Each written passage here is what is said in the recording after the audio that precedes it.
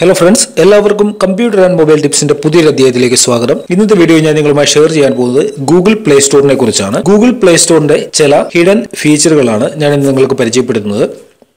Android phone ഉപയോഗിക്കുന്നവരാണെങ്കിൽ Google Play Store ഉപയോഗിച്ച് നിങ്ങൾക്ക് ഗെയിമുകൾ ആപ്ലിക്കേഷനുകൾ അതേപോലെ ബുക്സ് തുടങ്ങിയ കാര്യങ്ങൾ ഡൗൺലോഡ് ചെയ്യാൻ സാധിക്കും. ഗൂഗിൾ പ്ലേ സ്റ്റോർ നിങ്ങൾക്ക് നിങ്ങളുടെ ജിമെയിൽ ഐ ഡി കൊടുത്ത് സൈൻ ഇൻ ചെയ്യാൻ സാധിക്കും. ഞാനിവിടെ ഗൂഗിൾ പ്ലേ സ്റ്റോർ ഓപ്പൺ ആക്കുകയാണ്. ഗൂഗിൾ പ്ലേ സ്റ്റോറിൽ നിങ്ങൾക്ക് യൂസ്ഫുൾ ആകുന്ന ചില ഫീച്ചറുകളാണ് ഇന്ന് ഞാൻ നിങ്ങൾക്ക് പറഞ്ഞു തരാൻ പോകുന്നത്. അതിൽ ആദ്യത്തെ ഫീച്ചറാണ് പേരന്റൽ കൺട്രോൾ നിങ്ങളുടെ വീട്ടിൽ കുട്ടികൾ ഉണ്ടെങ്കിൽ കുട്ടികൾ ആദ്യം മൊബൈൽ എടുക്കുമ്പോൾ ചെയ്യുന്നത് അതിൽ ഏതൊക്കെ ഗെയിം ഉണ്ടെന്ന് സെർച്ച് ചെയ്യുകയാണ്. അല്ലെങ്കിൽ അതേപോലെയുള്ള ആപ്ലിക്കേഷനുകളാണ് അവർ നോക്കുന്നത്. അങ്ങനെയുള്ള സന്ദർഭങ്ങളിൽ കൊച്ചുകുട്ടികൾക്ക് ആവശ്യമായിട്ടുള്ള ആപ്ലിക്കേഷനുകൾ മാത്രം ലഭിക്കുന്ന രീതിയിൽ നിങ്ങൾക്ക് നിങ്ങളുടെ ഫോണിൽ പ്ലേ സ്റ്റോർ സെറ്റ് ചെയ്യാൻ സാധിക്കും. അതിനായിട്ട് നിങ്ങൾ ഇവിടെ പ്ലേ സ്റ്റോറിൽ ലെഫ്റ്റ് സൈഡിൽ നിന്നും സെറ്റിംഗ്സ് ഓപ്പൺ ആക്കുക. സെറ്റിംഗ്സ് ഓപ്പൺ ആക്കിയതിനു ശേഷം ഇവിടെ താഴെയായിട്ട് നിങ്ങൾക്ക് പേരന്റൽ കൺട്രോൾസ് എന്ന് പറയുന്ന ഒരു ഓപ്ഷൻ ഉണ്ട്. ഇവിടെ നിങ്ങൾക്ക് ആപ്ലിക്കേഷൻസ് ഫിലിംസ് മ്യൂസിക് തുടങ്ങിയ കാര്യങ്ങൾ കുട്ടികളുടെ ഏജിനനുസരിച്ച് സെറ്റ് ചെയ്യാൻ സാധിക്കും. ഇവിടെ നിങ്ങൾ പേരന്റൽ കൺട്രോൾ എന്നുള്ളത് എനേബിൾ ചെയ്യുക. അതിനുശേഷം ഒരു പിൻ കൊടുത്ത് ഓക്കെ കൊടുക്കുക. വീണ്ടും സെയിം പിൻ തന്നെ കൊടുത്ത് ഓക്കെ കൊടുക്കുക.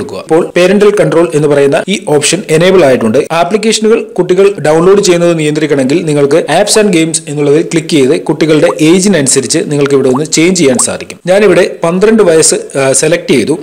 അതായത് പന്ത്രണ്ട് വയസ്സ് വരെയുള്ള കുട്ടികൾക്ക് ആവശ്യമായിട്ടുള്ള ആപ്ലിക്കേഷനുകൾ മാത്രമേ പ്ലേ സ്റ്റോറിൽ ഇനി സെർച്ച് ചെയ്താൽ ലഭിക്കത്തുള്ളൂ. ഇവിടെ നിങ്ങൾ സേവ് ചെയ്യുക. സേവ് ചെയ്ത് കഴിഞ്ഞാൽ കുട്ടികൾ ആവശ്യമില്ലാതെ ഒരുപാട് ഗെയിമുകളോ ആപ്ലിക്കേഷനുകളോ ഡൗൺലോഡ് ചെയ്യുന്നത് നിങ്ങൾക്ക് നിയന്ത്രിക്കാൻ സാധിക്കും. രണ്ടാമത്തെ ഫീച്ചറാണ് വിഷ് ലിസ്റ്റ് ഇതിലൂടെ നിങ്ങൾക്ക് നിങ്ങൾക്ക് ഇഷ്ടപ്പെടുന്ന ആപ്ലിക്കേഷനുകൾ വിഷ് ലിസ്റ്റിൽ കൊണ്ടുവരാൻ സാധിക്കും. നിങ്ങൾക്ക് ഇപ്പോൾ നിങ്ങൾ ഒരു നല്ല ആപ്ലിക്കേഷൻ കണ്ടു. അത് പർച്ചേസ് ചെയ്യേണ്ട ആപ്ലിക്കേഷൻ ആണ്. നിങ്ങളിലെ പർച്ചേസ് ചെയ്യാനുള്ള ബാലൻസ് ഇല്ല എന്നുണ്ടെങ്കിൽ ഈ ആപ്ലിക്കേഷനിൽ നിങ്ങൾക്ക് ഇവിടെ മൂന്ന് ഡോട്ട്സ് കാണാൻ സാധിക്കും. അതിൽ ക്ലിക്ക് ചെയ്ത് ആഡ് ടു വിഷ് ലിസ്റ്റ് എന്നുള്ളതിൽ ക്ലിക്ക് ചെയ്യുക. ഇതിൽ ക്ലിക്ക് ചെയ്ത് കഴിയുമ്പോൾ ഈ ആപ്ലിക്കേഷൻ നിങ്ങൾക്ക് വിഷ് ലിസ്റ്റിലേക്ക് മാറുന്നതാണ്. നിങ്ങൾക്ക് പിന്നെ എപ്പോഴെങ്കിലും ഈ ആപ്ലിക്കേഷൻ ഡൗൺലോഡ് ചെയ്യണമെങ്കിൽ അത് സെർച്ച് ചെയ്യേണ്ട കാര്യമില്ല. വളരെ ഈസി ആയിട്ട് നിങ്ങൾക്ക് വിഷ് ലിസ്റ്റിൽ നിന്നും ആ ആപ്ലിക്കേഷൻ ഡൗൺലോഡ് ചെയ്യാൻ സാധിക്കും. മൂന്നാമത്തെ ഫീച്ചറാണ് മാനുവൽ അപ്ഡേറ്റ് നിങ്ങൾക്ക് നിങ്ങളുടെ പ്ലേ സ്റ്റോർ മാനുവലി അപ്ഡേറ്റ് ചെയ്യണം. നിങ്ങളുടെ play store up to date ആണോ എന്ന് അറിയണമെങ്കിൽ നിങ്ങൾ സെറ്റിംഗ്സ് ഓപ്പൺ ആക്കുക. സെറ്റിംഗ്സിൽ നിങ്ങൾക്ക് ഏറ്റവും താഴെയായിട്ട് പ്ലേ സ്റ്റോർ വേർഷൻ എന്ന് പറയുന്ന ഒരു ഓപ്ഷൻ കാണാൻ സാധിക്കും. നിങ്ങളുടെ പ്ലേ സ്റ്റോർ എന്ന് പറയുന്ന ആപ്ലിക്കേഷന് അപ്ഡേറ്റ്സ് ഉണ്ടെങ്കിൽ ഇവിടെ നിങ്ങൾക്ക് അപ്ഡേറ്റ് ചെയ്യാൻ സാധിക്കും. അതല്ല നിങ്ങളുടെ ആപ്ലിക്കേഷൻ അപ് ടു ഡേറ്റ് ആണെന്നുണ്ടെങ്കിൽ അത് നിങ്ങൾക്ക് ഇതുപോലെ ഒരു മെസ്സേജ് ആയിട്ട് ലഭിക്കുന്നതാണ്. നാലാമത്തെ ഫീച്ചറാണ് എയർലി അസസ് എയർലി അസസ് എന്ന് പറയുന്ന ഒരു ഓപ്ഷൻ നിങ്ങൾക്ക് ഇവിടെ കാണാൻ സാധിക്കും. നോക്കുക ഈ കാണുന്ന ഭാഗത്ത് എയർലി അസസ് എന്ന് പറയുന്ന ഒരു ഓപ്ഷൻ കാണാം. ഇതിന്റെ പ്രത്യേകത ഇതിൽ നിങ്ങൾക്ക് പ്ലേ സ്റ്റോറിൽ ആപ്ലിക്കേഷനുകൾ റിലീസ് ആകുന്നതിന് മുമ്പ് അതല്ല എന്നുണ്ടെങ്കിൽ പ്ലേ സ്റ്റോറിൽ പബ്ലിഷ് ചെയ്യുന്നതിന് മുമ്പ് നിങ്ങൾക്ക് ആപ്ലിക്കേഷനുകൾ ഡൗൺലോഡ് ചെയ്യാൻ സാധിക്കും. ഈ ആപ്ലിക്കേഷനുകൾ ഒന്നും തന്നെ പ്ലേ സ്റ്റോറിൽ ഇതുവരെ പബ്ലിഷ് ചെയ്ത ആപ്ലിക്കേഷനുകളല്ല പുതിയ ആപ്ലിക്കേഷനുകളാണ് ഇത് നിങ്ങൾക്ക് ഇവിടെ ഒന്ന് ട്രൈ ചെയ്ത് നോക്കാൻ സാധിക്കും. പബ്ലിക്കായിട്ട് ആപ്ലിക്കേഷനുകൾ പ്ലേ സ്റ്റോറിൽ പബ്ലിഷ് ചെയ്യുന്നതിന് മുമ്പ് നിങ്ങൾക്ക് ഈ ആപ്ലിക്കേഷൻ ഉപയോഗിച്ച് നോക്കാൻ സാധിക്കും. അതിനോടൊപ്പം തന്നെ ഡെവലപ്പേഴ്സിന് എന്തെങ്കിലും കമൻസ് ഉണ്ടെങ്കിൽ നിങ്ങൾക്ക് അവർക്ക് സജഷൻസ് അയക്കാൻ സാധിക്കും. അഞ്ചാമത്തെ ഫീച്ചറാണ് ബീറ്റ ടെസ്റ്റർ ബീറ്റ ടെസ്റ്റർ എങ്ങനെയാണ് ആകുന്നത് എന്നുള്ളതിനെ കുറിച്ച് ഞാൻ മുമ്പും വീഡിയോകൾ അപ്ലോഡ് ചെയ്തിട്ടുണ്ട്.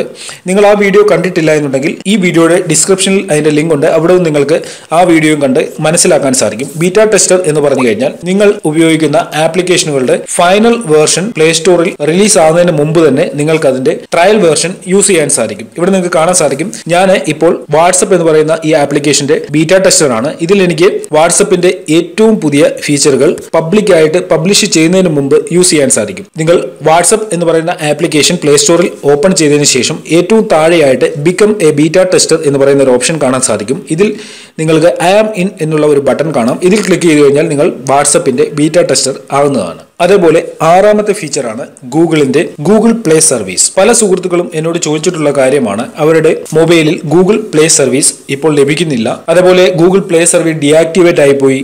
അല്ലെങ്കിൽ ഡിലീറ്റ് ആയിപ്പോയി. ഇങ്ങനെയുള്ള പ്രോബ്ലംസ് പലരും ഫേസ് ചെയ്യുന്നുണ്ട്. ഇങ്ങനെ ഗൂഗിളിന്റെ പ്ലേ സർവീസ് നിങ്ങൾക്ക് ലഭിക്കുന്നില്ല എന്നുണ്ടെങ്കിൽ നിങ്ങൾ ഗൂഗിളിൽ തന്നെ സെർച്ച് ചെയ്യുക. ഗൂഗിൾ പ്ലേ സർവീസ് എന്ന് സെർച്ച് ചെയ്യുക. ഇവിടെ നിങ്ങൾക്ക് കാണാൻ സാധിക്കും ഗൂഗിൾ പ്ലേ സർവീസ് ഇൻസ്റ്റാൾ എന്ന് പറയുന്ന ഒരു ബട്ടൺ വന്നിട്ടുണ്ട്. ഇതിൽ ഞാൻ ക്ലിക്ക് ചെയ്ത് കഴിഞ്ഞാൽ ഗൂഗിളിന്റെ പ്ലേ സർവീസ് എന്റെ മൊബൈലിൽ ഇൻസ്റ്റാൾ ചെയ്യാൻ സാധിക്കും. അപ്ഡേറ്റ് ഉണ്ടെങ്കിൽ അപ്ഡേറ്റ് ചെയ്യാൻ സാധിക്കും. ഡീആക്ടിവേറ്റ് ചെയ്യണമെങ്കിൽ ഡീആക്ടിവേറ്റ് ചെയ്യാനും സാധിക്കും. ഞാൻ ഇവിടെ ഓൾറെഡി എന്റെ മൊബൈലിൽ പ്ലേ സ്റ്റോർ ആപ്ലിക്കേഷൻ ഇൻസ്റ്റാൾ ആയതുകൊണ്ട് എനിക്ക് ഓപ്പൺ ചെയ്യാനായിട്ടുള്ള ഓപ്ഷനാണ് വരുന്നത്. വീഡിയോ നിങ്ങൾക്ക് ഉപകാരപ്രദമായി കാണുമെന്ന് ഞാൻ കരുതുന്നു. നിങ്ങൾക്ക് ഈ വീഡിയോ ഇഷ്ടപ്പെട്ടിട്ടുണ്ടെങ്കിൽ നിങ്ങളുടെ സുഹൃത്തുക്കൾക്ക് തീർച്ചയായിട്ടും ഷെയർ ചെയ്യണം. അതിനോടൊപ്പം തന്നെ നിങ്ങൾ ഈ വീഡിയോ ലൈക്ക് ചെയ്യണം കമന്റ് ചെയ്യണം. എന്തെങ്കിലും ഡൗട്ട്സ് ഉണ്ടെങ്കിൽ നിങ്ങൾ ഈ വീഡിയോയുടെ താഴെ കമന്റ് ചെയ്യുക. ഞാൻ എല്ലാ കമൻസിനും റിപ്ലൈ തരുന്നതാണ്. അതിനോടൊപ്പം തന്നെ നിങ്ങൾ കമ്പ്യൂട്ടർ ആൻഡ് മൊബൈൽ ടിപ്സ് എന്ന് പറയുന്ന എന്റെ ഫേസ്ബുക്ക് പേജ് ലൈക്ക് ചെയ്തിട്ടില്ലെങ്കിൽ നിങ്ങൾക്ക് ഫേസ്ബുക്ക് പേജും ലൈക്ക് ചെയ്യാൻ സാധിക്കും. നിങ്ങൾ ട്രിക്സ് ആൻഡ് ടിപ്സ് എന്ന് പറയുന്ന ഫേസ്ബുക്ക് പേജ് ലൈക്ക് ചെയ്തിട്ടില്ലെങ്കിൽ ഫേസ്ബുക്ക് പേജിന്റെ ലിങ്ക് ഞാൻ ഈ വീഡിയോയുടെ ഡിസ്ക്രിപ്ഷനിൽ കൊടുക്കുന്നതാണ്.